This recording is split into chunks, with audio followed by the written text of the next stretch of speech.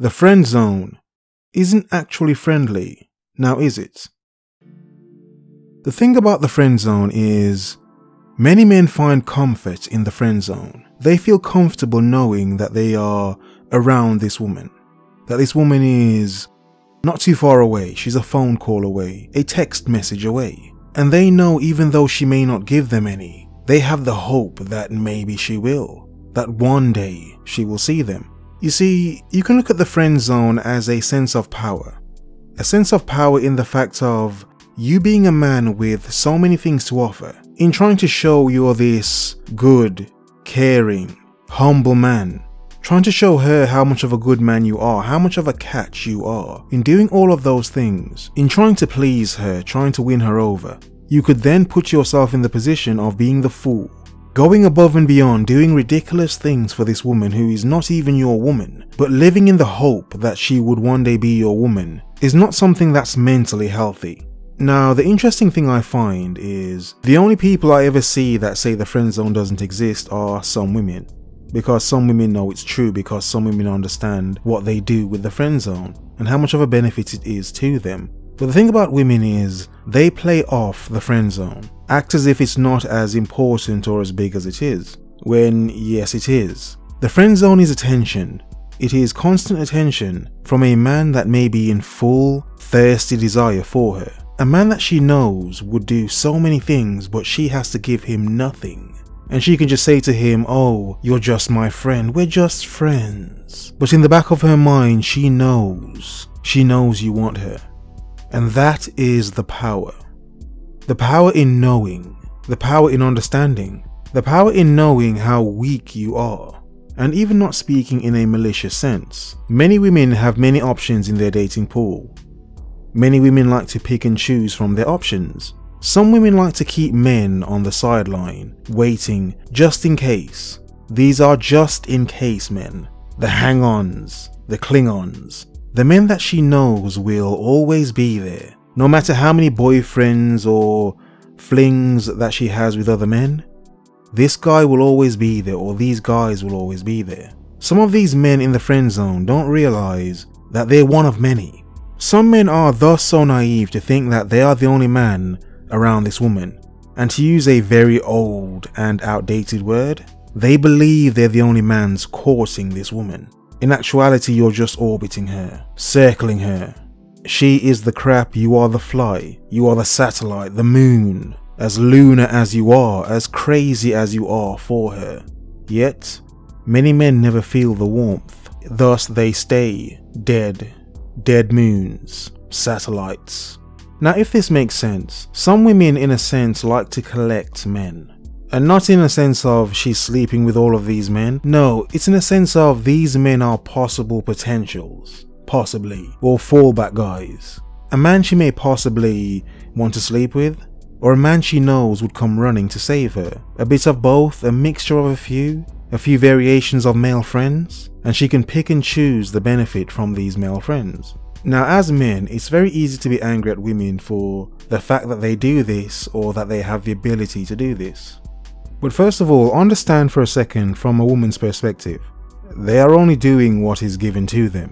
If they have hordes of thirsty men like zombies coming at them, what do you expect them to do? In some way, understand this how some women, in a sense, try to organize the men in their lives. These are the friend zone guys, these are the guys she may sleep with, those guys over there she's unsure about. So, in a sense, she may categorize you to see where you fit in in her choosing scheme, her ranking scheme, whatever. The thing about these men is it's when they go too far. It's when they try to do so many things thinking that they will win her over. They think if they do this, then she will see. They think if they do that, then she will see.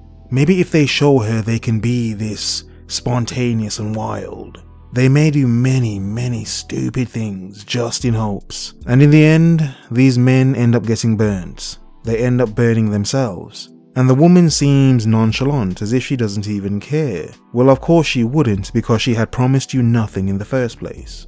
As a man, understand how many games are being played, and how many games you are playing on yourself.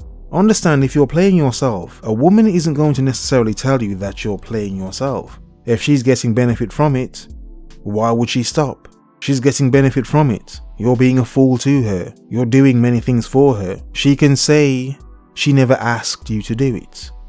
You were just doing it. Understand, by nature, they are the receivers of not only us as men and our manhood and our seed, but the things we have to give to them as well as men, the things we have to offer, our resources, our time, our energy and effort. But because that natural need we have as human beings to, to obviously seek out a partner, it then makes logic fall to the back.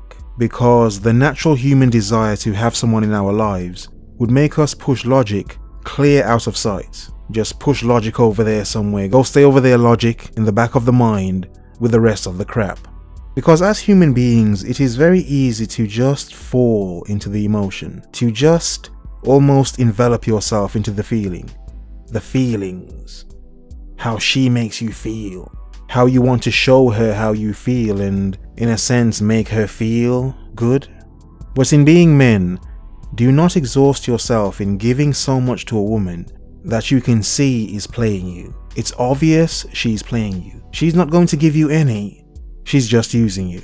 Also, don't blame women if you're giving them everything you have in hopes of getting some. As women, naturally they will take it and see no wrong in it. And if you complain, you're the one in the wrong because she never asked you to do it. They're not mind games, it's not psychology, it's a simple sense of understanding that women want and they will take everything you have to give them. But that doesn't mean they have to give you anything in return. They know that. Sometimes it takes a lot of men a long time to understand that. They owe you nothing but remember, as a man, you owe them nothing either. Not a damn thing. If you're friends with a woman and it's not sexual, it's just she's just a cool woman, you like being around her, there's nothing there, that's different. But if it's a woman you want, and she friend zoned you, put you in this zone of being a friend, and now you hang on, hoping to get some, you are the fool, sir. And unless you are happy in your situation, I say run. Because it may turn out that one day when she does want you, you may end up getting the worst of her. Because now she's desperate. She doesn't want you, but she needs you for something. Be aware, there are many games, many mind games, much psychology at work. Just be a better friend to yourself than anyone else, than you would ever be for someone who may not even care about you. With clarity, like a laser. Focus. Observe. Remember.